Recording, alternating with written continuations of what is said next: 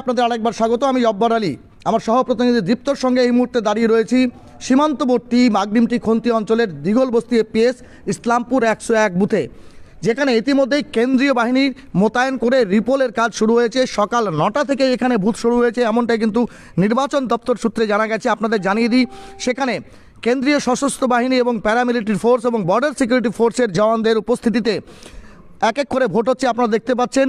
যে এখানে বারোশো প্রায় ভোট রয়েছে এখনও পর্যন্ত তিনশোর প্লাস ভোট কিন্তু হয়েছে এবং প্রায় তেত্রিশ শতাংশ ভোট কিন্তু বেলা দেড়টা অবধি হয়েছে, এমনটাই কিন্তু আমরা জানতে পারছি। আপনাদের জানিয়ে দিই, একদম শুরুতেই যেখানে আপনাদের দেখানোর চেষ্টা করব, একদম শুরুতেই অর্থাৎ এন্ট্রি পয়েন্টে কিন্তু তিনজন বিএসএফের জওয়ান সেখানে হচ্ছে মোতায়েন রয়েছেন। পাশাপাশি আপনাদের জানিয়ে দিই, এই মুহূর্তে কারবাইন সহকারে আপনারা দেখতে পাচ্ছেন যে সেখানে বিএসএফের আর একজন হচ্ছে সীমা সুরক্ষা বলের একজন জওয়ান কিন্তু মোতায়েন রয়েছেন।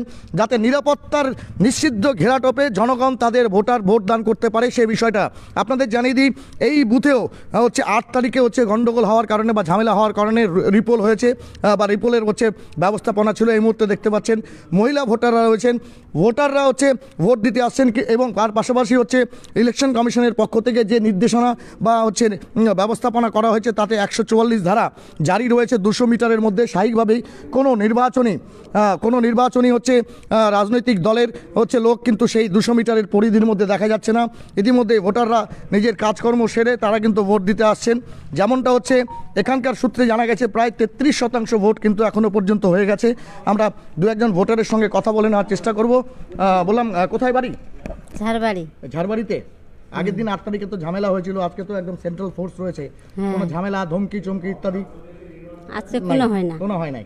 একদম শান্তিতে ভোট দিতে শান্তি পারছেন আপনারা। হ্যাঁ। বাড়ির কাজকর্ম সেরে হলেন। বাড়ির লোকজন যারা আছে তারা ভোট দিতে আসছে। হ্যাঁ। ঠিক। আপনার কি নাম আপনার? জুমারান আচ্ছা। আচ্ছা। কি নাম আপনার? বুদ্ধি খাতুন। আচ্ছা এই ঝাড়বাড়িতেই বাড়ি? হুম ঝাড়বাড়িতে বাড়ি। ভোটের দিন তো এখানে ঝামেলা হয়েছিল। না নিয়ে এর আগের দিন ভোট যেতে হয়েছিল। হুম এখনও নাই। আজকে নাই। আজকে কোনো ঝুট ঝামেলা? না, কিছু নাই। ধমকাচ্ছে চমকাচ্ছে? না কিছু নাই। এখানে কটা ভোট দিতে হবে জানা আছে? হুম জানা আছে তো। আচ্ছা হুম। কি নাম আপনার? বুদ্ধি খাতুন। আচ্ছা।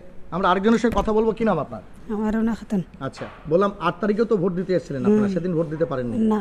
কি সমস্যা হয়েছিল? ওদিনে ঝামেলা হয়েছিল। ঝামেলা হয়েছিল। আজকে কোনো ঝামেলা? আজকে কোনো ঝামেলা নাই। ফোর্স বিএসএফ এর ফোর্স রয়েছে প্যারামিলিটারি ফোর্স রয়েছে আজকে কোনো ঝুট ঝামেলা হচ্ছে? আজকে কোনো ঝামেলা নাই। আচ্ছা একদম শান্তিতে ভোট দিচ্ছেন। শান্তিতে। ঠিক ঠিক ঠিক কি নাম আপনার? রুনা খাতুন আপনাদের জানিয়ে দিয়ে মহিলা ভোটাররা বাড়ির কাজকর্ম সেরে তারা কিন্তু এই মুহূর্তে ভোট দিচ্ছে এবং সে সঙ্গে দেখতে পাচ্ছেন একদম প্রবেশ পথে কিন্তু সেন্ট্রাল প্যালের প্যারামিলিটারি ফোর্স এবং বিএসএফ এর দুজন জওয়ান কিন্তু সেখানে মোতায়েন সশস্ত্র পুলিশ রয়েছেন, পাশাপাশি এক্সিট বা বাইরের দিকেও আরেকজন রয়েছেন এবং আপনাদের জানিয়ে দিই, এই নিরাপত্তার ঘেরাটোপেই কিন্তু রিপোল হচ্ছে দীঘল বস্তি স্কুলে এসপি পিএসএ ইসলামপুরে একশো এক নম্বর বুথ এবং আপনাদের জানিয়ে দিই, যেমনটা আমার কাছে তথ্য রয়েছে, আমরা যেমনটা জানতে পেরেছি, প্রায় তিনশো প্লাস ভোট কিন্তু এখানে হয়েছে বারোশো ভোট রয়েছে এখানে।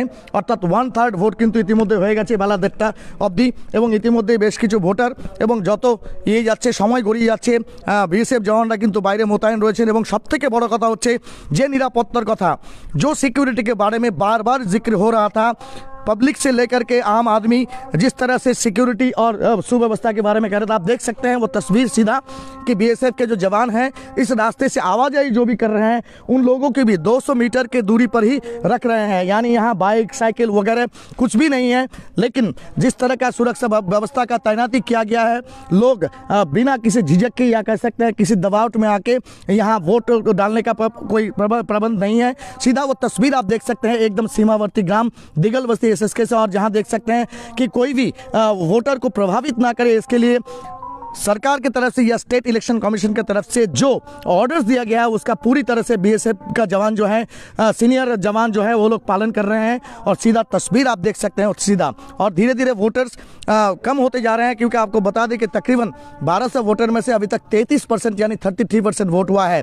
अगला बूथ में क्या हालात है क्या परिस्थिति है इसका लाइव प्रसारण आपको दिखाने की कोशिश करेंगे। अब तक हमारे साथ जुड़े रहने के लिए अनेक धन्यवाद। आप सभी को बता दें जो नए सिरे से हमारे साथ जुड़े कि इस्लामपुर ब्लॉक के 10 बूथों में रीपोल किया जा रहा है, जहाँ कह सकते हैं कि एक लॉ एंड ऑर्डर का प्रॉब्लम हो गया था या कुछ कुछ बूथ्स में ऐसा प्रॉब्लम हो गया था कि जहाँ वोट लेना संभव ही नहीं था।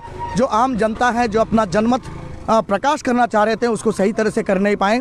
इसीलिए फिर यहाँ रेपोल हो रहा है लेकिन आज पूरे पाबंदी के साथ यहाँ बीएसएफ के जवान अपना ड्यूटी को निभा रहे हैं और जो अ, कानून या कह सकते हैं जो इंस्ट्रक्शंस उन लोगों को दिया गया है उसका पूरा पूरा पालन करती है। एकदम शांतिपूर्ण तरीके से वोट हो रहा है। लोग इसका ही शायद इंतज़ार कर रहे थे कि शांति का वो घड़ी आए जहाँ वो अपने मत को उसी तरह से शांति के चैन अमन के पैगाम के साथ साथ दे सके। इसी तरह की छोटी बड़ी खबर अपडेट देखने के लिए जुड़े रहे न्यूज़ स्टूडियो इंडिया के साथ सह दीप्तो के साथ, फिर मैं लाइव आता हूँ न्यूज़ स्टूडियो के लिए दूसरा कोई बूथ से।